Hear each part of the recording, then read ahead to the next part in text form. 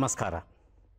Syndicate bank ಥಟ್ ಅಂತ ಹೇಳಿ quiz ಕಾರ್ಯಕ್ರಮಕ್ಕೆ ತಮಗೆಲ್ಲ ಸ್ವಾಗತ.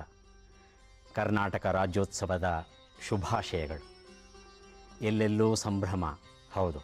ರಾಜ್ಯೋತ್ಸವದ ಸಂಭ್ರಮ ಇಡೀ ನಾಡಿನ ತುಂಬ ಉಕ್ಕಿ ಹರಿತಾ ಇದೆ ಅನುಮಾನವೇ ಇಲ್ಲ. ಆ ಸಂಭ್ರಮದ ಜೊತೆಗೆ ಮತ್ತಷ್ಟು ಸಂಭ್ರಮ ಇದೆ ಇವತ್ತು ನಮ್ಮ ಸ್ಟುಡಿಯೋದಲ್ಲಿ. ನಮ್ಮ ಥಟ್ ಅಂತ ಹೇಳಿ ಈ ಒಂದು ತಂಡಕ್ಕೆ ಇವತ್ತು ವಿಶೇಷವಾದ ದಿನ. ಯಾಕೆ ಇವತ್ತು ವಿಶೇಷವಾದ ದಿನ? ಈ ಪ್ರಶ್ನೆ ನಿಮ್ಮ ಮನಸ್ಸಲ್ಲಿ ಬರ್ತಾ ಇರಬಹುದು. ಆ ಪ್ರಶ್ನೆಗೆ ಉತ್ತರ ಈಗೋ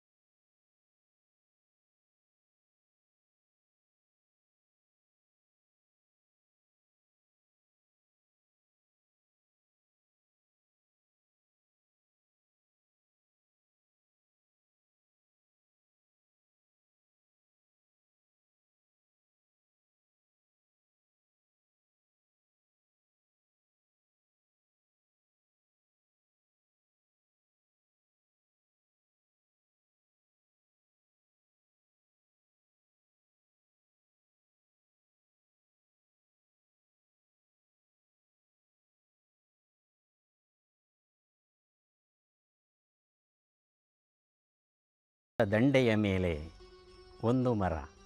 ಎಷ್ಟು ಅದ್ಭುತವಾಗಿದೆ ಈ ಗೀತೆ. ವಿಚಾರ ಮಾಡ್ತಾ ಇದ್ದ ಹಾಗೆ ಅಲ್ಲಿ ಇರ್ತಕ್ಕಂಥ ವಿಷಯದ ಹರವು ಆಳ ಇವನ್ನು ನೋಡಿದ್ರೆ ನಮಗೆ ದಿಗ್ಭ್ರಮೆಯಾಗುತ್ತೆ. ಇಂತಹ ಅದ್ಭುತವಾದ ಗೀತೆಯನ್ನು ಬರೆದಂಥ ವ್ಯಕ್ತಿ ಇವತ್ತು ನಮ್ಮ ಜೊತೆ ಇದ್ದಾರೆ. ಇವರು ಹಾಡನ್ನು ಬರೆದಿದ್ದಾರೆ, ಇವರೇನು ಕೇವಲ ಕವಿಯ ಅಂತ ತಮ್ಮ ಮನಸ್ಸಲ್ಲಿ ಪ್ರಶ್ನೆ ಬಂದರೆ, ಇವರು ಕೇವಲ ಕವಿ ಮಾತ್ರ ಅಲ್ಲ ಇವರು ನಾಟಕಕಾರರು, ಕಾದಂಬರಿಕಾರರು, ಹಾಡುಗಾರರು, ಮಾಜಿ ಉಪಕುಲಪತಿಗಳು ಹಾಗೂ ಚಲನಚಿತ್ರ ನಿರ್ದೇಶಕರು. ಎಲ್ಲವೂ ಆಗಿರ್ತಕ್ಕಂಥ ಪ್ರೊಫೆಸರ್ ಚಂದ್ರಶೇಖರ ಕಂಬಾರ ಇವತ್ತು ನಮ್ಮ ಜೊತೆ ಇದ್ದಾರೆ. ನಮ್ಮ ಕಾರ್ಯಕ್ರಮಕ್ಕೆ ತಮಗೆ ಸ್ವಾಗತ ಸರ್. ಆರಂಭದಲ್ಲೇ ಒಂದು ಪ್ರಶ್ನೆಯನ್ನು ತಮ್ಮನ್ನು ಕೇಳ್ತಾ ಇದ್ದೇನೆ. ನಮ್ಮ ಕನ್ನಡ ಸಾಹಿತ್ಯದ ಮೇಲೆ ಸಂಸ್ಕೃತದ ಪ್ರಭಾವ ಬಹಳ ದಟ್ಟವಾಗಿತ್ತು. ನಿಮ್ಮ ತಲೆಮಾರಿನವರ ಕಾಲದಲ್ಲಿ ಯುರೋಪಿಯನ್ ಭಾಷೆಗಳು ಬಹಳ ಪ್ರಭಾವ ಬೀರಿದ್ರು. ನಮ್ಮ ಕನ್ನಡ ಸಾಹಿತಿಗಳು ಬಹಳಷ್ಟು ಜನ ಆ ಭಾಷೆಗಳಿಗೆ, ಅಲ್ಲಿರತಕ್ಕಂಥ ವಿಚಾರಗಳಿಗೆ ಮಾರು ಹೋಗೋದು. ಆದರೆ ತಾವು ಸಂಸ್ಕೃತಕ್ಕೂ ಒಲಿಯಲಿಲ್ಲ, ಈ ಯುರೋಪಿಯನ್ ಭಾಷೆಗಳಿಂದ ಆಕರ್ಷಿತರಾಗಲಿಲ್ಲ. ತಮ್ಮದೇ ಆದ ಒಂದು ದೇಸಿ ಮಾರ್ಗವನ್ನು ತಾವು ಹುಡುಕೊಂಡ್ರಿ ಇದಕ್ಕೆ ಕಾರಣ ಏನು ಅಂತ ಹೇಳ್ತೀರಾ? ಏನು ಕಾರಣ ಏನಾದರೂ ಇದೆ ಅಂಥೇಳಿ ನನಗನ್ಸೋದಿಲ್ಲ. ನಮ್ಮ ದೇಶಿ ಭಾಷೆಯ ಸೊಗಡು ಅಥವಾ ಸೊಗಸು ಅಷ್ಟು ಚಂದ ಅದ ಅಂಥೇಳಿ ನನಗನ್ನಿಸ್ತದೆ ಯಾಕಂತಂದರೆ ನಮ್ಮ ಭಾಷೆಯಲ್ಲಿ ಯಾವುದಾದ್ರೂ ಸುಸೂಕ್ಷ್ಮವಾದ ಭಾವನೆಗಳನ್ನು ಅಭಿವ್ಯಕ್ತಿಸಲಿಕ್ಕೆ ಸಾಧ್ಯವಿಲ್ಲ ಅಂತಂದಾಗ ನಾವು ಬೇರೆ ಕಡೆ ಹೋಗ್ತೀವಿ. ನಮ್ಮ ಭಾಷೆ ಒಳಗೆ ಸಾಧ್ಯ ಅದ ಅಂತೇಳಿ ಅಂದಮೇಲೆ ಅದನ್ಯಾಕೆ ಬಳಸಬಾರ್ದು. ಉದಾಹರಣೆಗೆ ನನಗೆ ಯಾವಾಗಲೂ ಸ್ಫೂರ್ತಿ ಕೊಟ್ಟಂಥದ್ದು ಅಂತಂದರೆ ವಚನಕಾರರ ಚಳವಳಿ. ವಚನಕಾರರು ಅವ್ರೇನು ಮಾಡಿದರು ಅಂತಂದರೆ ಏನೇ ಆಗಲಿ ಕನ್ನಡದಲ್ಲೇ ಅಲ್ಲಿ ಸುಮಾರು ಇನ್ನೂರು ಜನ ವಚನಕಾರರು ಅವರು. ಇನ್ನೂರು ಜನ ವಚನಕಾರರಲ್ಲಿ ಬಸವಣ್ಣನಂಥ ಉನ್ನತ ಮಟ್ಟದ ಅಥವಾ ಉನ್ನತ ಸುಶಿಕ್ಷಿತನಾದಂಥ ವ್ಯಕ್ತಿಯಿಂದ ಹಿಡಿದು ಡೋಹರ ಕಕ್ಕಯ್ಯನಂಥವರವರೆಗೂ ಕೂಡ ಅಲ್ಲಿದ್ದಾರೆ. ನಮ್ಮ ಮಧ್ಯದಲ್ಲಿ ಕೂತಿರ್ತಕ್ಕಂಥ ಕೊನೆಯವನ ಜೊತೆಗೆ ನಾವು ಸಂಭಾಷಣೆ ಮಾಡಬೇಕು ಅಂತಂದರೆ ಅವನ ಭಾಷೆ ಒಳಗನೆ ಮಾಡಬೇಕು. ಹೀಗಾಗಿ ಅಚ್ಚ ಕನ್ನಡದಲ್ಲಿ ಮಾಡಿದರು, ಸಂಭಾಷಣೆ ಮಾಡಿದರು. ಇವತ್ತು ಅನೇಕರು ಸಂಸ್ಕೃತಿ ವಿದ್ವಾಂಸರು ಹೇಳ್ತಾರೆ, ಕೆಲವು ವಚನಗಳನ್ನು ಸಂಸ್ಕೃತಕ್ಕೆ ಅನುವಾದ ಮಾಡೋದೇ ಸಾಧ್ಯವಿಲ್ಲ ಅಂತ. ಅಂದರೆ ಸಂಸ್ಕೃತಕ್ಕೆ ಅಷ್ಟರ ಮಟ್ಟಿಗೆ ಅದು ಸಾಧ್ಯವಿಲ್ಲ, ಅಷ್ಟರ ಮಟ್ಟಿಗೆ ಅದು ತನ್ನ ಸೋಲನ್ನು ಒಪ್ಪಿಕೊಳ್ಳುತ್ತದೆ. ಅಷ್ಟು ಶಕ್ತಿಯನ್ನು ಕನ್ನಡಕ್ಕೆ ಕೊಟ್ಟರು ಅಚ್ಚ ಕನ್ನಡಕ್ಕೆ ಕೊಟ್ಟರು ಅವರು. ಇಂಥದ್ದೊಂದು ಉದಾಹರಣೆ ನಮ್ಮ ಕಣ್ಣೆದುರಿನಲ್ಲೇ ಇದ್ದಾಗ, ಸಂಸ್ಕೃತ ಆಗಲಿ ಅಥವಾ ಇಂಗ್ಲೀಷ್ ಆಗಲಿ ನಮಗೆ ಅಗತ್ಯ ಇದೆ ಅಂಥೇಳಿ ನಮಗೆ ನನಗೆ ಅನಿಸಲಿಲ್ಲ ಮತ್ತು ಈಗಲೂ ಅನಿಸೋದಿಲ್ಲಪ್ಪ ಈಗಲೂ ಅನಿಸೋದಿಲ್ಲ ಅಂತ ತಾವು ಏನು ಹೇಳ್ತಾ ಇದ್ದೀರಾ? ಇದನ್ನು ನಾವು, ಅಂದರೆ ನಮ್ಮ ಯುವ ಸಾಹಿತಿಗಳಾಗಲಿ ಅಥವಾ ಯುವಜನರಾಗಲಿ ಈ ಬಗ್ಗೆ ಸ್ವಲ್ಪ ವಿಶೇಷವಾಗಿ ವಿಚಾರ ಮಾಡಬೇಕು ಅಂತ ಅನ್ನಿಸ್ತಾ ಇದೆ. ವಚನಗಳು ತಮ್ಮ ಸಾಹಿತ್ಯದ ಮೇಲೆ ಅಪಾರವಾದ ಪ್ರಭಾವ ಬೀರಿದೆ ಅಂತ ನಮಗನ್ಸುತ್ತೆ. ಇದನ್ನು ಸೋದಾಹರಣವಾಗಿ ಏನಾದರೂ ವಿವರಿಸ್ತೀರಾ? ಇಲ್ಲ, ಖಂಡಿತವಾಗಿ. ಯಾಕಂತಂದರೆ ನಮ್ಮ ಕನ್ನಡದ ಅಂಥದ್ದೊಂದು ಪರಂಪರೆ ಪ್ರತಿಯೊಂದು ಭಾಷೆಗೂ ಇಂಥ ಪರಂಪರೆ ಇಲ್ಲ ರೀ. ನಮ್ಮ ಭಾಷೆಗೆ ಮತ್ತು ಬಹುಶಃ ನನಗನ್ನಿಸದ ನಮ್ಮ ಭಾರತೀಯ ಭಾಷೆಗಳಲ್ಲೆಲ್ಲ ಸಂಸ್ಕೃತಕ್ಕೆ ಆ ಪರಂಪರೆ ಇದೆ, ಬಿಡಿ. ಅದರ ನಂತರದ ಸ್ಥಾನಮಾನ ತಮಿಳಿಗೂ ಆ ಥರದ ಒಂದು ಪರಂಪರೆ ಇದೆ. ಆ ಮೇಲೆ ಬಹುದೊಡ್ಡ ಮತ್ತು ಬಹು ಅರ್ಥಪೂರ್ಣವಾದಂಥ, ಬಹುಶಃ ಸಂಸ್ಕೃತದ ನಂತರ ಎರಡನೇ ಸ್ಥಾನ ಅಷ್ಟು ಅದ್ಭುತವಾದಂಥ ಪರಂಪರೆ ಇರೋದಕ್ಕೆ ಕನ್ನಡ ಒಂದೇ ನಮಗೆ ಕಾಣ್ತಕ್ಕಂತಹ ಒಂದು ಉದಾಹರಣೆ. ಹೀಗಾಗಿ ವಚನಕಾರರು ನಿರ್ಮಿಸಿದಂಥ ಭಾಷೆ ಎದುರಿಗೆ ನಿಮಗೆ ಈಗಲೂ ಗೊತ್ತಾಗ್ತದೆ. ಈಗ ನಾನು ಮತ್ತು ಬೇಂದ್ರೆಯವರು ಬರೆದ ಪದ್ಯಗಳು ಹಳಗನ್ನಡದ ಪದ್ಯದ ಹಾಕಿ ಕೇಳಿಸುತ್ತವೆ, ವಚನಕಾರರ ಭಾಷೆ ಮುಂದೆ. ಅಂದರೆ ವಚನಕಾರರ ಭಾಷೆ ಈಗಲೂ ಕೂಡ ಎಷ್ಟು ಹೊಸಗನ್ನಡ ಎಷ್ಟು ಹೊಸಗನ್ನಡ ಅಂತ ತಂದರೆ ನಾವಿನ್ನೂ ಕಂಡರಿಯದ ಹೊಸಗನ್ನಡ ಅದು. ಗೊತ್ತಾಯ್ತಲ್ಲ? ಅದನ್ನೇ ನಮಗೆ ಮಾಡಲಿಕ್ಕಾಗಿಲ್ಲ ಇನ್ನು ಬೇರೆ ಭಾಷೆಗಳಿಂದ ತರುವಂಥದ್ದು ಏನಿದೆ, ಅಗತ್ಯ ಏನಿದೆ? ನನಗಂತೂ ಅಗತ್ಯ ಕಾಣಿಸ್ಲಿಲ್ಲಪ್ಪ ಬಹಳ ಸೊಗಸಾಗಿ ಹೇಳಿದೆ ಸರ್. ನಮ್ಮಲ್ಲೇ ಎಷ್ಟೊಂದಿದೆ ಇದನ್ನೇ ನಾವು ತಿಂದು ಜೀರ್ಣಿಸ್ಕೊಂಡಿಲ್ಲ ಇನ್ನೂ. ಜೀರ್ಣಿಸ್ಕೊಂಡಿಲ್ಲ. ಆಮೇಲೆ ವಚನಕಾರರು ಎಷ್ಟು ಸಾಧ್ಯತೆಗಳನ್ನು ಬಿಟ್ಟಿದ್ದಾರೆ? ಒಂದು ಕೋಟಿ ಸಾಧ್ಯತೆಗಳಿವೆ. ನಾವು ಹಬ್ಬಬ್ಬ ಅಂತೇಳಿ ತಂದರೆ ಹೊಸಗನ್ನಡದಲ್ಲಿ ವಚನಕಾರರು ತೋರಿಸಿದಂಥ ಸಾಧ್ಯತೆಗಳ ಒಂದು ಹತ್ತು ಅಥವಾ ಇಪ್ಪತ್ತು ಶೇಕಡ ಹತ್ತು ಹತ್ತು ಪರ ಇದನ್ನು ನಾವು ಬಳಸಿದ್ದೇವೆ ಅಷ್ಟೇ. ತೊಂಬತ್ತು ಭಾಗ ಇನ್ನೂ ಇದು. ಅಷ್ಟು ಸಾಧ್ಯತೆಗಳನ್ನು ತೋರಿಸಿದ್ದಾರೆ ಅವರು. ಗೊತ್ತಾಯ್ತಲ್ಲ ಅಂದರೆ ಅವರು ಯಾವ ಛಲದಿಂದ ಬಾಬಾ ಇದನ್ನು ಮಾಡಲಿಲ್ಲ ಅವರು? ಸಾಧ್ಯ ಇದೆ ಸಾಧ್ಯ ಇದೆ ಅಂತೇಳಿ ಅವ್ರಿಗೆ ಗೊತ್ತಿತ್ತು. ಎಲ್ಲಕ್ಕಿಂತ ಜಾಸ್ತಿಯಾಗಿ ಅವ್ರು ಯಾರ ಜೊತೆ ಮಾತಾಡಬೇಕಾಗಿತ್ತು? ಆ ಮಾತಾಡುವವ್ರು ನೋಡಿಬಿಟ್ಟು ಅದನ್ನು ಸೃಷ್ಟಿ ಮಾಡಲೇಬೇಕು ಅಂತೇಳಿ ಅನ್ನಿಸ್ತು. ನೀವು ನನಗೊಂದು ಆಶ್ಚರ್ಯ ವ್ಯಕ್ತಪಡಿಸಿದ್ರಿ ಇವತ್ತು. ಏನು ಅಂತಂದರೆ, ನೀವು ಡಾಕ್ಟರ್ ಅಂತ ಹೇಳಿದ್ರಿ. ನಾನು ನೀವು ಅಧ್ಯಾಪಕರು ಅಂತ ತಿಳ್ಕೊಂಡಿದ್ದೆ. ಬಹಳ ಸುಂದರವಾದಂಥ ಕನ್ನಡವನ್ನು ನೀವು ಮಾತಾಡ್ತೀರಿ ಆದ್ದರಿಂದ ನೀವು ಡಾಕ್ಟರ್ ಆದ್ದರಿಂದ ಹಳ್ಳಿಗೆ ಹೋಗಿ ಹೋಗಿ ಒಬ್ಬನಿಗೆ ನೀವು ಮ- ಔಷಧಿ ಕೊಡಬೇಕಾದ್ರೆ ಕನ್ನಡದೊಳಗೆ ಮಾತಾಡ್ತಿರೋ ಇಂಗ್ಲೀಷ್ನೊಳಗೆ ಮಾತಾಡ್ತಿರೋ ಹೇಳಿಬಿಡ್ರಿ.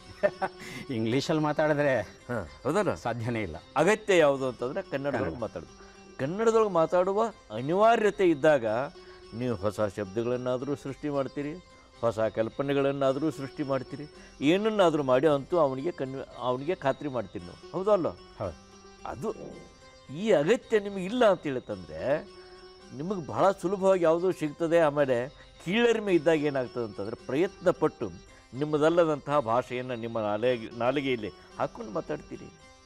ಕೀಳರಿಮೆ ಇದ್ದವ್ರನ್ನ ನೀವು ಅವ್ರನ್ನ ಸುಧಾರಣೆ ಮಾಡಲಿಕ್ಕಾಗೋದಿಲ್ಲ. ಸ್ವಾಭಿಮಾನ ಇದ್ದವ್ರನ್ನ ಎಬ್ಬಿಸ್ಬೋದು. ಹೌದು. ಕೀಳರಿಮೆ ಇದ್ದವ್ರನ್ನ ಎಬ್ಬಿಸ್ಲಿಕ್ಕೆ ಎಬ್ಬಿಸ್ಲಿಕ್ಕೆ ಭಾಳ ಕಷ್ಟ ಆಗುತ್ತೆ. ಸರ್ ನಮ್ಮ ಕನ್ನಡ ಸಾಹಿತಿಗಳತ್ತ ಒಂದು ಸಲ ಗಮನ ಹರಿಸಿದರೆ ಒಂದು ಪಕ್ಷಿ ನೋಟವನ್ನು ಬೀರಿದ್ರೆ ಬಹಳಷ್ಟು ಜನ ಸಾಹಿತಿಗಳು ಒಂದು ರೀತಿ ಕುದುರೆ ಹಾಗೆ ಒಂದು ಪಟ್ಟಿಯನ್ನು ಕಟ್ಕೊಂಡ್ಬಿಟ್ಟಿದ್ದಾರೆ. ಒಂದೇ ಕಡೆ ಹೋಗ್ತಾ ಇರ್ತಾರೆ. ತಮ್ಮ ಕೈಗೆ ತಾವೇ ಒಂದು ಕೈಕೋಳುಗಳನ್ನು ತೊಡಸ್ಕೊಂಡ್ಬಿಟ್ಟಿದ್ದಾರೆ ಅನಿಸುತ್ತೆ. ನಾನು ನವ್ಯದವನು, ನಾನು ಬಂಡಾಯದವನು, ನಾನು ದಲಿತ ಸಾಹಿತಿ. ಹೀಗೆ ತಮ್ಮನ್ನು ತಾವೇ ಒಂದು ಮಿತಿಗೆ ಒಳಪಡಿಸ್ಕೊಂಡಾಗ ಅವರಿಗೆ ನಿಜವಾಗಿಯೂ ಒಂದು ಕಾವ್ಯದ ಹರಹು ಅನ್ನೋದು ಏನಿದೆಯಲ್ಲ ಅದರ ವೈಶಾಲ್ಯತೆ ಏನಿದೆಯಲ್ಲ ಅಥವಾ ಬದುಕಿನ ಗುಟ್ಟುಗಳು ಏನಿದೆಯಲ್ಲ ನಿಜಕ್ಕೂ ಅವರಿಗೆ ಸಿಗುತ್ತಾ ಅಥವಾ ತಪ್ಪಿಸ್ಕೊಂಡು ಹೋಗುತ್ತಾ? ಅದನ್ನು ಅವರವರ ಹೇಳ್ಕೋಬೇಕ್ರಿಪ್ಪ. ನಾ ಹೇಳೋಕ್ಕಾಗೋದಿಲ್ಲ ಅದನ್ನು. ಯಾಕೆ ಅಂತ ಹೇಳಿದ್ರೆ ನೀವು ಯಾವುದೇ ರೀತಿಯಾದ ಇಸಮ್ಗಳಿಗಾಗಲಿ ಗುಂಪುಗಳಿಗಾಗಲಿ ಅಥವಾ ಈ ರೀತಿಯಾದಂಥ ಕೃತಕವಾದ ವಿಭಾಗಗಳಿಗಾಗಲಿ ನೀವು ಒಲಿದಿಲ್ಲ. ನಾನು ಮುಕ್ತವಾಗಿ ನಿಂತಿರ್ತೇನೆ, ಕಾವ್ಯದ ಒಳಗು ನಿಂತು ಅದರ ಹರಹನ್ನು ನೋಡ್ತೇನೆ, ಕಾವ್ಯದ ಹೊರಗೂ ನಿಂತು ಅದರ ವೈಶಾಲ್ಯತೆಯ ಒಂದು ಸೌಂದರ್ಯವನ್ನು ಅನುಭವಿಸ್ತೇನೆ ಅಂತ ಹೇಳಿ ನಿಮ್ಮನ್ನು ಎಲ್ಲಕ್ಕೂ ತೆರೆಕೊಂಡಿದ್ದೀರಾ? ಹೀಗೆ ತೆರೆಕೊಂಡಿರೋದು ಒಬ್ಬ ಕವಿಯಾದವನಿಗೆ ತೀರಾ ಅಗತ್ಯ ಅಲ್ವಾ? ಭಾಳ ಅಗತ್ಯ ಇವರೇ. ಯಾಕೆ ಅಗತ್ಯ ಅಂತೇಳಿ ಹೇಳ್ತೀನಿ ಅಂತಂದರೆ, ನಿಮಗೆ ಅನುಭವ ಇದ್ದದ್ದು ನಾನು ನವ್ಯ ಅನುಭವ, ನಾ ಅಂಥ ಅನುಭವ, ಇಂಥ ಅನುಭವ ಅಂತೇಳಿ ಹೆಸರು ಹೇಳ್ಕೊಂಡು ಬರೋದಿಲ್ಲ. ಅನುಭವ ಯಾವತ್ತು ಭಾಳ ಶುದ್ಧ ಇರ್ತದೆ. ಅದನ್ನು ಗ್ರಹಿಸಬೇಕಾದ್ರೆ ನೀವು ಪಟ್ಟಿ ಕಟ್ಟಿಕೊಂಡ್ರೆ ಸಿಗೋದಿಲ್ಲ ಅದು. ಎಲ್ಲೋ ಮುಕ್ತವಾಗಿದ್ದಾಗ ಮಾತ್ರ ನಾವು ಇಷ್ಟೆಲ್ಲ ಮುಕ್ತವಾಗಿದ್ದರೂ ಕೂಡ ನಮಗೆ ಸಿಕ್ಕೋದಲ್ಪ. ನಿಜ ಅಂಥದ್ರಾಗಿನ ಪಟ್ಟಿ ಗಿಟ್ಟಿ ಕಟ್ಕೊಂಡ್ರೆ ಏನು ಸಿಗ್ತದೆ ಅದು? ಅದು ಪಟ್ಟಿ ಕಟ್ಟಿಕೊಳ್ಳದೆ ಮುಕ್ತವಾಗಿ ನೋಡೋದೇ, ಗ್ರಹಿಸೋದು ಇದೆಯಲ್ಲ ಅದು ಭಾಳ ಅದ್ಭುತ ಅಂತ ಅನ್ನಿಸ್ತದೆ ಇನ್ನೊಂದು ಏನು ಅಂತ ಹೇಳ್ತಂದರೆ ಜಗತ್ತನ್ನು ನಮಗೆ ಅನುವಾದ ಮಾಡಿ ತೋರಿಸೋದು ಯಾವುದು ಅಂತಂದ್ರೆ ಭಾಷೆ. ಅನುಭವವನ್ನು ನಮಗೆ ಕೊಡುವಂಥದ್ದು ಅನುವಾದ ಮಾಡಿ ಕೊಡುವಂಥದ್ದು ಅನುಭವವನ್ನು ಹಂಗೆ ನಾವು ತೊಗೊಳಕ್ಕಾಗೋದಿಲ್ಲ. ಆ ಅನುಭವವನ್ನು ಅನುವಾದ ಮಾಡೋದು ಯಾವುದು ಅಂತಂದ್ರೆ ಭಾಷೆ. ಆ ಭಾಷೆಯ ಬಗ್ಗೆ ನಿಮಗೆ ಗೌರವ ಭಾವನೆ ಇರಬೇಕು. ಮತ್ತು ಅದರ ಬಗ್ಗೆ ಪ್ರೀತಿಯೂ ಪ್ರೀತಿಯೂ ಇರಬೇಕು. ಅಂದರೆ ಅದು ತನ್ನ ಗುಟ್ಟನ್ನು ನಿಮಗೆ ಬಿಟ್ಟು ಕೊಡ್ತದೆ. ನೀವು ಅದಕ್ಕಿಂತ ನೀನ ದೊಡ್ಡವ ಅಂತೇಳಿ ನೀವು ಹಿಂಗೆ ಮೀಸಿ ತಿರ್ಕೋತ ಬಂದಿರಿ ಅಂತ ಹೇಳಿತ್ತಂದ್ರೆ ಅದು ಎಷ್ಟು ಸಿಕ್ಕಿದ್ದು ನಿಮಗೆ? ದಕ್ಕೋದಿಲ್ಲ ಅದು. ಅಲ್ಲ? ಅದರಿಂದ ನೋಡಿ ಅವರು ನಮ್ಮ ಇವನು ದಾಚ ದೇವರ ದಾಶಮಯ ಹೇಳ್ತಾರೆ. ಏನಂತಂದರೆ ಕರಿಯನ್ನಿತ್ತಡೆವಲ್ಲೆ ಸಿರಿಯನ್ನಿತ್ತಡೆವಲ್ಲೆ ಆ? ನಿಮ್ಮ ಶರಣರ ಸುಳ್ನುಡಿಯ ಅರೆಗಳಿಗೆ ಇತ್ತರೆ ನಿಮ್ಮ ನಿತ್ಯ ಕಾಣ ರಾಮನ ಶರಣರ ಸುಳ್ಳು ಸುಳ್ನುಡಿ. ಹಾಂ ಸುಳ್ನುಡಿ ಸಿಕ್ಕರೆ ನೀನು ಕೊಟ್ಟದ್ದಾದರೆ ನೀನು ಬೇಡ ಹೋಗುತ್ತ ಅಂದರೆ ಭಾಷೆಯಲ್ಲಿ ದೇವರಿದ್ದಾರೆ ರಾಮನಾಥ ಇದ್ದಾನೆ. ಆ ರಾಮನಾಥ, ಅಂದರೆ ಭಾಷೆಯಲ್ಲಿ ಅದು ಬಂದು ಪ್ರತ್ಯಕ್ಷವಾಗಿ ಬಿಟ್ಟರೆ ರಾಮನಾಥನೇ ಬಂದ ಹಾಗೆ. ಆ ರಾಮನಾಥನ ನೋಡಬೇಕಾದ್ರೆ ನಮ್ಗೆ ಎಷ್ಟು ಕಣ್ಣಿರಬೇಕು?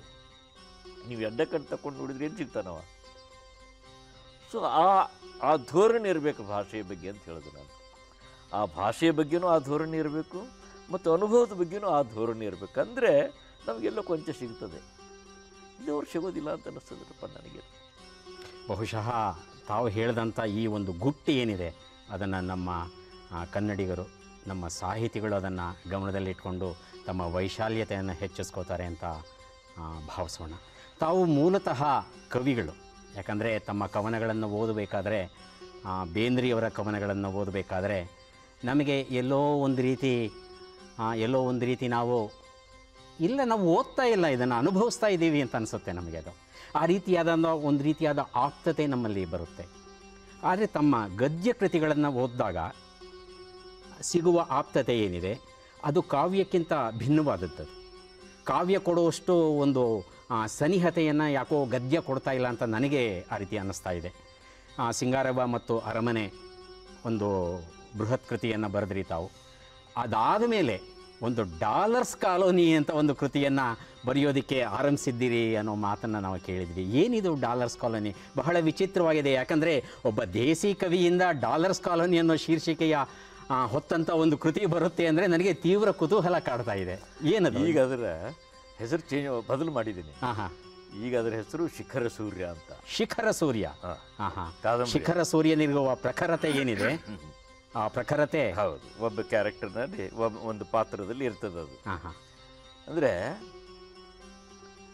ಈ ನಮ್ಮಲ್ಲಿ ಮುಖ್ಯವಾಗಿ ಇತಿಹಾಸದ ಕಲ್ಪನೆ ಬಂತಲ್ಲ ಇತಿಹಾಸದ ಕಲ್ಪನೆ ಇತಿಹಾಸಕ್ಕೆ ಹುಟ್ಟಿದ್ದು ಕಾದಂಬರಿ. ಕಾದಂಬರಿ ಹುಟ್ಟಿರೋದ್ರಿಂದ ಇತಿಹಾಸ ಏನು ಹೇಳ್ತದೆ ಅಂತ ಹೇಳ್ತಂದ್ರೆ ಅನುಭವವನ್ನು ಆಳವಾಗಿ ಅಥವಾ ಎತ್ತರವಾಗಿ ನೋಡೋ ಹಾಗಿಲ್ಲ. ಕಾವ್ಯಕ್ಕೆ ದೊಡ್ಡ ಕನಸುಗಳು ಬೇಕು ಅಂದರೆ ಎತ್ತರ ಸಿಗ್ತದೆ ನಮಗೆ. ಬಹುದೊಡ್ಡ ನೆನಪುಗಳು ಬೇಕು. ಅಂದರೆ ನಿಮಗೆ ಆಳ ಸಿಗ್ತದೆ. ವಚನಕಾರರು ಉಪನಿಷತ್ತುಗಳು ಇವೆಲ್ಲ ನಮ್ಮ ನೆನಪುಗಳಿವೆ ದೊಡ್ಡ ರಾಮರಾಜ್ಯ ಗಾಂಧಿ ಹೇಳಿದಂಥ ರಾ- ಕನಸುಗಳು ಇದೆಲ್ಲ ನಮ್ಮ ಫ್ಯೂಚರ್ ಇದು. ನಮ್ಮ ಭವಿಷ್ಯತ್ ಇದು. ಇದು ಕಾವ್ಯಕ್ಕೆ ಬೇಕು. ಗದ್ಯಕ್ಕೆ ಅದು ಹೀಗೆ ಪಾತ್ರಿ ಮೇಲೆ ವಿಸ್ತಾರವಾಗ್ತದನ್ನು ಹೊರತು ಆಳವಾಗಿ ಹೋಗೋದಿಲ್ಲ ಅದು. ದೊಡ್ಡ ಗುಟ್ಟನ್ನು ಹೇಳ್ತಾ ಇದ್ದೀರಾ ತಾವು? ಅದು ಹೌದು. ಆದ್ದರಿಂದ ಅವರೇನು ಗದ್ಯ ಇತಿಹಾಸದ ಭಾಗವಾಗಿ ಬಂದಂಥ ಗದ್ಯ ಹೀಗೆ ನಾವು ಬರಲಿಕ್ಕೆ ಶುರು ಮಾಡಿದ್ವಿ. ಹೀಗೆ ಬರೆಯೋದಿಲ್ಲ ನಾವು. ಹೀಗೆ ಬರಲಿಕ್ಕೆ ಶುರು ಮಾಡಿದ್ದೀವಲ್ಲ ವಿಸ್ತಾರಗಳನ್ನು ಮಾತ್ರ ಪಾತಳಿಗಳನ್ನು ಮಾತ್ರ ಹೇಳ್ತಾ ಹೋದೀವಿ ನಾವು. ಪಾತಳಿಗಳನ್ನು ಮಾತ್ರ ಹೇಳ್ತಾ ಹೋದ್ವಿ. ಗದ್ಯದ ಇದೇನು ಅಂತ ಹೇಳ್ತಂದರೆ, ಅನುಭವದ ವಿಸ್ತಾರವನ್ನು ಆಳವನ್ನಲ್ಲ ವಿಸ್ತಾರವನ್ನು ಪಾತಳಿಗಳನ್ನು ಶೋಧನೆ ಮಾಡ್ತಾ ಹೋಗೋದು. ಕಾವ್ಯದ ಗುಟ್ಟು ಏನು ಅಂತ ಹೇಳ್ತಂದ್ರೆ, ಅದು ಆಳ ಮತ್ತು ಎತ್ತರಗಳನ್ನು ಶೋಧನೆ ಮಾಡ್ತಾ ಹೋಗೋದು. ಹೀಗಿರೋದ್ರಿಂದ ಹೊಸದಾಗಿ ನಿಮಗೆ ಗದ್ಯ ಬಂತು ನಿಮಗೆ. ಗದ್ಯದ ಕೆಲಸ ಕರ್ತವ್ಯ ಏನು ಅಂತ ಹೇಳಿತಂದ್ರೆ ವಿಸ್ತಾರಗಳನ್ನು ಶೋಧನೆ ಮಾಡುವಂಥದ್ದು. ಆದ್ದರಿಂದ ಅದರಲ್ಲಿ ಇದರ ಆಳ ಮತ್ತು ಎತ್ತರ ಸಿಗೋದಿಲ್ಲ. ಸಿಗೋದಿಲ್ಲ. ಆಳ ಎತ್ತರ ವಿಸ್ತಾರ ಹರಹು ಪಾತಳಿ ಈ ಇವಳ ನಡುವೆ ತಮ್ಮ ಒಂದು ಗೀತೆಯನ್ನು ಕೇಳಿ ಮಾತುಕತೆ ಮುಂದುವರಿಸೋಣ. ಇಲ್ಲ. ಈಗ ಒಂದು ಗೀತೆ ಕೇಳ್ಬೇಡ ಇಲ್ಲ ಇಲ್ಲ ಇಲ್ಲ ಇಲ್ಲ. ಹೇಳ್ತೀನಿ ಹೇಳ್ತೀನಿ. ನನ್ನ ಗೀತೆ ತರಲಿಲ್ಲ ನೀವು ಹೇಳಲಿಲ್ಲ ನನಗೆ. ಇಲ್ಲ ಒಂದು ತುಣುಕನ್ನು ನೋಡೋಣ ಈಗ. ಒಂದು ತುಣುಕನ್ನು ನೋಡೋಣ. Thank you.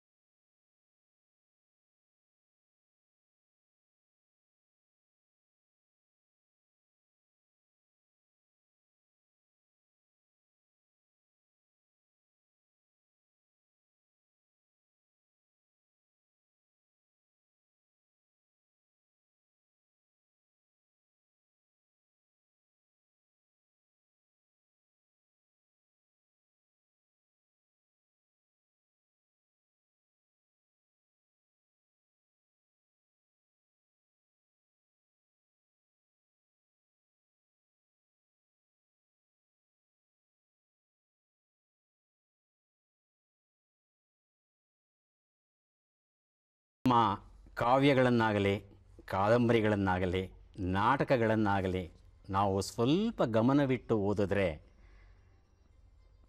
ಹೆಣ್ಣನ್ನು ತಾವು ಅನ್ವೇಷಣೆ ಮಾಡುವಂಥ ರೀತಿ ಇದೆಯಲ್ಲ, ಅದು ಬೆರಗುಗೊಳಿಸುತ್ತೆ ನಮ್ಮನ್ನು. ಪರಕಾಯ ಪ್ರವೇಶ ಮಾಡೋ ಹಾಗೆ ಪರಮನಸ್ಸನ್ನು ತಾವು ಪ್ರವೇಶ ಮಾಡಿ, ಆ ಹೆಣ್ಣಿನ ಮನಸ್ಸಿನಲ್ಲಿ ಹುಟ್ಟುವಂಥ ಸೂಕ್ಷ್ಮ ಭಾವನೆಗಳು, ನೋವುಗಳು, ನಲಿವುಗಳು, ಆ ಒಂದು ಬೆರಗುಗಳು ಇವೆಲ್ಲ ಏನಿದೆ? ಅದನ್ನು ಎಷ್ಟು ಸರಳವಾಗಿ ತಾವು ಅದನ್ನು ವ್ಯಕ್ತಪಡಿಸ್ತೀರಲ್ಲ, ಇದು ಆಶ್ಚರ್ಯ ಆಗುತ್ತೆ. ಹೀಗೆ ಒಂದು ಪರಮನಸ್ಸನ್ನು ಪ್ರಯೋ ಪ್ರವೇಶ ಮಾಡುವಂತಹ ಒಂದು ಸಾಮರ್ಥ್ಯ ತಮಗೆ ಹೇಗೆ ಸಿಕ್ತು? ಹೆಣ್ಣು ತಮ್ಮ ಬದುಕಲ್ಲಿ ಬಹಳ ಪ್ರಧಾನ ಪ್ರಭಾವ ಬೀರಿರಬೇಕು ಅಂತ ಅನಿಸುತ್ತೆ. ಯಾರವರು? ತಾಯಿಯ, ತಂಗಿಯ, ಸೋದರಿಯ, ಮಡದಿಯ, ಗೆಳತಿಯ ಯಾರು? ಎಲ್ಲರೂ ನನ್ನ ತಾಯಿ ಬಹಳ. ಆಕೆ ಸರಸ್ವತಿ ಇದ್ದಂಗೆ ಇದ್ಳು ಬಾಯಿ ತೆಗೆದ್ರೆ ತ್ರಿಪದಿ ಕಥೆ ಆಮೇಲೆ ಗಾದೆ ಮಾತು. ನಮ್ಮ ಚಿಕ್ಕಮ್ಮ ಅಂತೂ ಕಥೆಗಳ ದೊಡ್ಡ ನಿಧಿ. ನಮ್ಮ ದೊಡ್ಡಮ್ಮ ದೊಡ್ಡಮ್ಮ ಚಿಕ್ಕಮ್ಮನ ದೊಡ್ಡಮ್ಮ. ಆಕೆ ಎಂಥೆಂಥ ಟ್ರೈಬ್ಗಳ ಕಥೆಗಳನ್ನೆಲ್ಲ ಹೇಳ್ತಿದ್ಳು ಅಂತ ಹೇಳ್ತಂದರೆ ಅವಳು ಆಮೇಲೆ ನಮ್ಮ ಅಪ್ಪ ಆಮೇಲೆ ನನ್ನ ಹೆಂಡತಿ ಕೂಡ ನನ್ನ ಮಕ್ಕಳು ಇವರೆಲ್ಲ ಇವರೆಲ್ಲ ಸೇರಿಕೊಂಡು ಇಂಥದ್ದೊಂದು ಇದನ್ನು ಮಾಡಿದ್ದಾರೆ ನನ್ನ ಮನಸ್ಸನ್ನು ಸೃಷ್ಟಿ ಮಾಡಿದ್ದಾರೆ ಅಂತ ಅನ್ನಿಸ್ತದೆ ಆಮೇಲೆ ನನ್ನ ಜನ ನಮ್ಮ ಹಳ್ಳಿಯ ಪರಿಸರ ಇದನ್ನೆಲ್ಲ ನೋಡಿದಾಗ ನನಗೆ ಈಗಲೂ ಕೂಡ ಅನ್ನಿಸ್ತದೆ ಇವರೇ. ವಿಧಿ ಪಶ್ಚಿಮದ ಸಂಸ್ಕೃತಿ ನಾಶವಾಗೋದು. ಸ್ತ್ರೀಯನ್ನು ಅವಜ್ಞೆ ಮಾಡಿದ್ರಿಂದ ಮಾಡೋದರಿಂದಲೇ ಹೊರತು. ಇಲ್ಲದೆ ಹೋದರೆ ಅದು ಅದು ಅದು ನಾಶದ ಸ್ಥಿತಿಯಲ್ಲಿ ಬಂದಿದೆ. ಬಹುಶಃ ಆವಾಗ ಏನಾದರೂ ಈ ಪ್ರಪಂಚಕ್ಕೆ ಕೊಡೋದು, ಸ್ತ್ರೀಗೆ ಗೌರವ ಕೊಡ್ತಕ್ಕಂಥ ನಮ್ಮ ದೇಶದಿಂದ ಪಂಚ ಆಸೆ ಇದೆಯೇ ಹೊರತು ಈ ಪ್ರಪಂಚ ಬದುಕೋದಕ್ಕೆ ಇಲ್ಲ ಹೋದ್ರೂ ಇಲ್ಲ. ಯಾಕಂದರೆ ನಮ್ಮವ್ರೇನು ಹೇಳ್ತಾರೆ? ಬಳಗವಾಗಿ ಬದುಕು ಅಂತ ಹೇಳ್ತಾಳೆ ತಾಯಿ, ಬಳಗವಾಗಿ. ತಾಯಿ ಮಾತನ್ನು ಸೃಷ್ಟಿ ಮಾಡಿದಳು, ತಂದೆ ಲಿಪಿಯನ್ನು ಸೃಷ್ಟಿ ಮಾಡಿದ. ತಾಯಿ ಬಳಗ ಕಟ್ಟಿದಳು ತಂದೆ ಬರೇ ಸಾಹಸ ಮಾಡ್ತಾ ಹೋದ ಇವನು. ತಂದೆ ಹುಟ್ಟಿದ್ದೇನು ಯುದ್ಧಗಳನ್ನು ಸೃಷ್ಟಿ ಮಾಡಿದ ಕಾವ ಸ್ಪರ್ಧೆಗಳನ್ನು ಸೃಷ್ಟಿ ಮಾಡಿದ. ಆಮೇಲೆ ಮಗನಿಗೆ ಕೂಡ ತನ್ನ ಆಸ್ತಿ ಕೊಡಬೇಕಾದ್ರೆ ನನ್ನ ಜೊತೆಗೆ ಸ್ಪರ್ಧೆ ಮಾಡು ಅಂದರೆ ಕೊಡ್ತೀನಿ ಅಂತಾನೆ. ಇಡಿಪಸ್ ಹೌದು. ಅಂದರೆ ಇಂಥದ್ದು ಅದು ಪಶ್ಚಿಮದ ಸಂಸ್ಕೃತಿ ಅದು. ಅದು ಎಂಥದ್ದು ಅಂತೇಳಿ ತಂದರೆ ತಾಯಿಯನ್ನು ತಿರಸ್ಕರಿಸುವಂಥ ಸಂಸ್ಕೃತಿ ಅದು. ಅದು ಕುಟುಂಬಕ್ಕೆ ವಿರುದ್ಧವಾದಂಥ ಸಂಸ್ಕೃತಿ ಅದು. ಇದು ನಮ್ಮ ಸಂಸ್ಕೃತಿ ಅಂಥದ್ದು ಅಂತಂದ್ರೆ ಬಳಗವಾಗಿ ಬಾಳು. ಎಂಥ ಬಳಗವಾಗಿ ಬಾಳು ಬಾಳು ಅಂತೇಳಿ ಅಂತಂದ್ರೆ ಅದು ನಾರ್ಸಿಸಸ್ ಸಂಸ್ಕೃತಿ ಅದು. ನಾರ್ಸಿಸಸ್ಸು ಬರೀ ತನ್ನ ಮುಖ ತಾನೇ ನೋಡ್ಕೊಂಡು ಕನ್ನಡಿ ಒಳಗೆ. ಕನ್ನಡಿ ಒಳಗೆ ನೋಡ್ಕೊಳ್ಳೋದು ಅಲ್ಲೇ ಅಲ್ಲೇ ಏನು ಚೆಂದಾಗಿದ್ದೇನೆ ನಾನು. ಇದೆ. ಇದಕ್ಕೆ ನಮ್ಮವ್ರು ಏನಂತಾರೆ ಗೊತ್ತಾ? ನಮ್ಮಲ್ಲಿ ಒಂದು ಜನಪದ ಕಥೆ ಇದೆ. ಒಬ್ಬ ರಾಜ ಹೊಂಡದಲ್ಲಿ ಮುಖ ನೋಡ್ಕೊಂಡಂತೆ. ಹೊಂಡದಲ್ಲಿ ಮುಖ ನೋಡ್ಕೊಂಡು ಕೂಡಲೇ ಅವನ ಮುಖ ಕಾಣಲಿಲ್ಲ. ಅವನ ಹೆಣ ತೇಲಿ ಬಂತು. ಓಹೋ. ಹೆಣ ತೊಡಿ ಮೇಲೆ ಇಟ್ಕೋತಾನ, ಹೊಟ್ಟೆ ತುಂಬ ತಿಂತಾನ. ಮತ್ತು ಒಗಿತಾನೆ, ಹೋಗ್ತಾನೆ. ಮಾರನೇ ದಿನ ಬರೋದು ಹೊಂಡ ನೋಡ್ಕೊಳ್ಳೋದು, ಹೆಣ ತೇಲಿ ಬರ್ತಿತ್ತು, ತಿನ್ನೋದು, ಹೋಗೋದು. ಇದು ನಮ್ಮ ನಮ್ಮ ನಾರ್ಚಿಸಸ್ ಕತೆ ಇದು. ನೀವು ಒಬ್ಬರು ನೋಡ್ಕೊಂಡ್ರಿ ಇದ್ರೊಳಗೆ ಅಂತ ಹೇಳ್ತಂದರೆ ಹೊಂಡದೊಳಗೆ ನೋಡ್ಕೊಂಡ್ರಿ ಅಂತ ಹೇಳ್ತಂದ್ರೆ ಅದು ನಿಮ್ಮ ಹೆಣ ಅದು. ಪಾಶ್ಚಾತ್ಯ ಸಂಸ್ಕೃತಿ ಅದನ್ನು ಪ್ರೀತಿ ಮಾಡ್ತದೆ. ಛೇ, ಏನು ಚಲುವ ನಾನು ಅಂತದೆ. ಇದು ಇದು ಹೆಣ ಇದು. ಕಾಮೆಂಟ್ ಕೊಟ್ಬಿಟ್ರಿ ನಮ್ಮವ್ರು.